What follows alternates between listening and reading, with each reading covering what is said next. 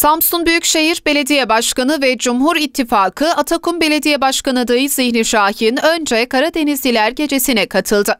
Bir gün sonra ise kahvaltıda Ordu Sevgi Derneği üyeleriyle buluştu. Başkan Şahin her iki buluşmada da birlik ve beraberlik mesajları verdi. Başkan Şahin beraberinde Atakum Belediye Başkanı İshak Taşçı, AK Parti Atakum İlçe Başkanı Haluk Köksoy ve Milliyetçi Hareket Partisi İlçe Başkanı Ahmet Hatinoğlu ile birlikte Yalı Kafede düzenlenen Karadenizliler Gecesi'ne katıldı.